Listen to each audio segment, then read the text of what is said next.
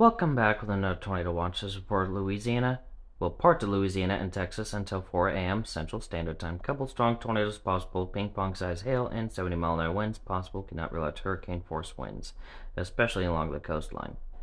Uh, 1,379,371 people, 584 schools, and 90 hospitals affected by this.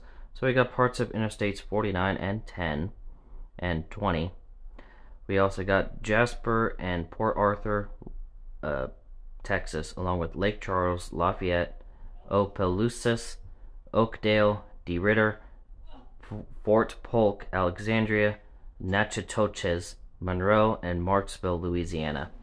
So with that, just get ready to take shelter at a moment's notice, and that means for those of you in mobile homes or homes that happen to be on stilts along the coast, get ready to evacuate at a moment's notice. So, with that, that does seem to be it for right now. Stay safe out there. See you in the next video. Bye.